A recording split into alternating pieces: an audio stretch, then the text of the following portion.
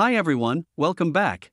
In this video, I will explain how to configure a cascading combo box using the Syncfusion Blazor combo box control. First, let me open the existing Blazor combo box getting started application, where I have added a Blazor combo box with basic properties. I have bound country names as the data source. If you would like to watch the video on the basics of adding a Blazor combo box to an app, follow the link provided in the card. You can also find a reference link in the description below. Now, I will run this example by pressing F5. Here, you can see the first combo box showing country names. Let's take a closer look at this example. You can see a series of combo box components here. Note that, when I select a particular country from the country's combo box, the respective state's combo box is enabled.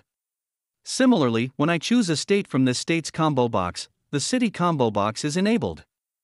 Now, let me show you the steps to render such a series of combo box components, and how to configure a cascading combo box. To create a cascading combo box, first, I need to render a series of combo box components by defining one more combo box inside the division section. I plan to display a state name in the combo box, so let me define two more fields, state ID and state name, within this combo box data model class. Then, I need to create a list of combo box data one of combo box data model type and assign an array of objects to it.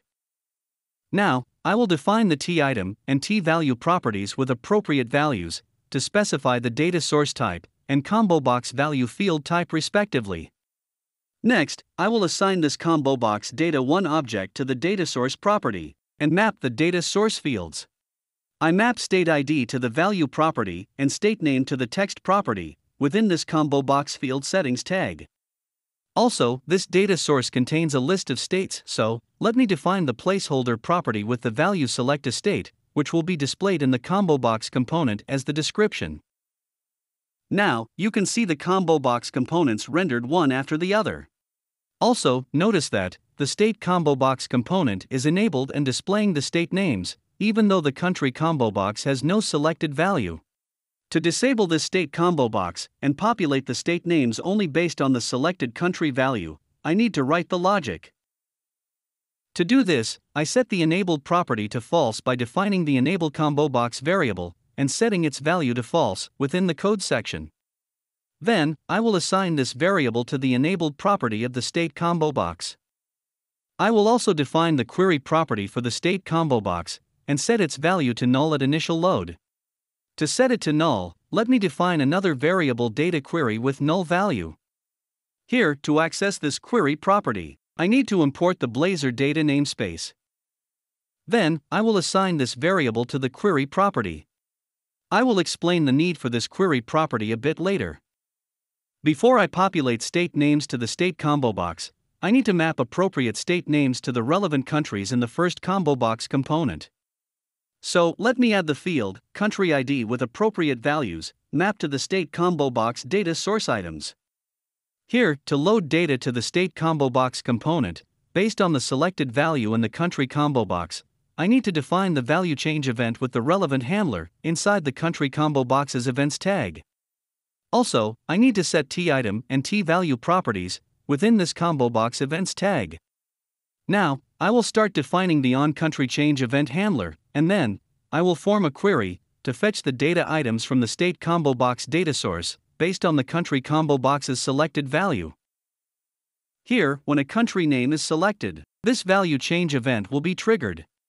So, within the onCountryChange method, enable the state combo box component by passing the value true to the enable combo box variable. As I said before, to fetch state names based on the selected country value, I need to form a query and assign it to the data query variable. Also, I need to ensure that these variables, enable combo box and data query, are assigned to the enabled and query properties of the state combo box component. Look at the combo box components now. The state combo box is disabled.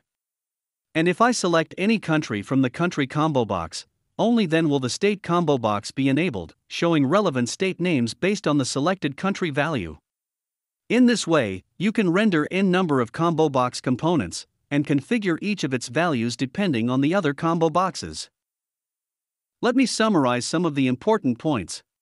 We have seen how to add a series of Syncfusion Blazor combo boxes to the Blazor application. We have also seen how to configure the cascading combo box. If you would like to see a working example of the combo boxes in this video, you can download one from the GitHub link in the description below. You can also see if you qualify for a free license key to use our Blazor products through our community license. If you found this video useful, don't forget to click the like button and subscribe to our channel to watch more videos like this. Thanks for watching.